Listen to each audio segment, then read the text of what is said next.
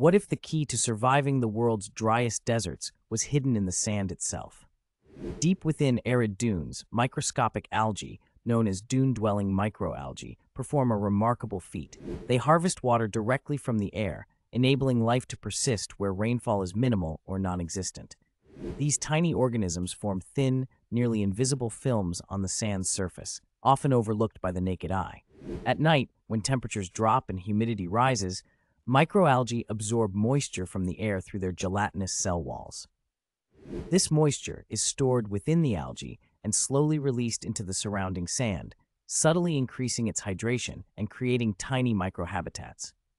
The process doesn't just help the microalgae survive, it also supports other organisms, like insects, small reptiles, and burrowing animals, that rely on these small pockets of moisture to thrive. By stabilizing the sand and preventing erosion, microalgae further shape the dune ecosystem, promoting plant growth and biodiversity.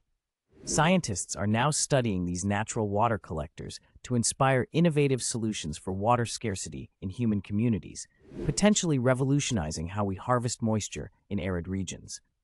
In the harshest environments, the smallest residents are often the most essential.